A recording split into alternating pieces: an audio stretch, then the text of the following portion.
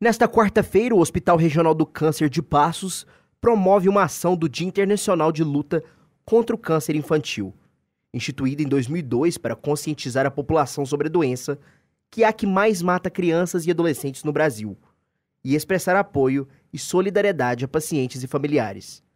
Na quinta-feira, será realizada uma festa de carnaval para os pacientes oncológicos do hospital.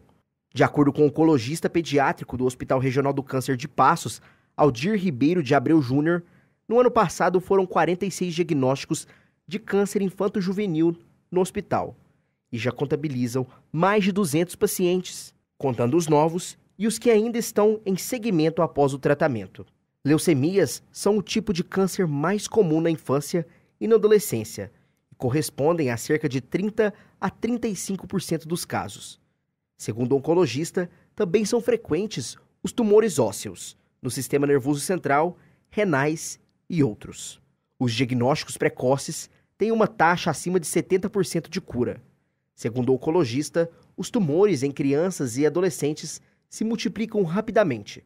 O tratamento do câncer infanto-juvenil é feito principalmente com quimioterapia, radioterapia e cirurgia, mas o uso de terapias-alvos com anticorpos monoclonais, que vão agir especificamente nas células de determinado tumor, vem ganhando espaço.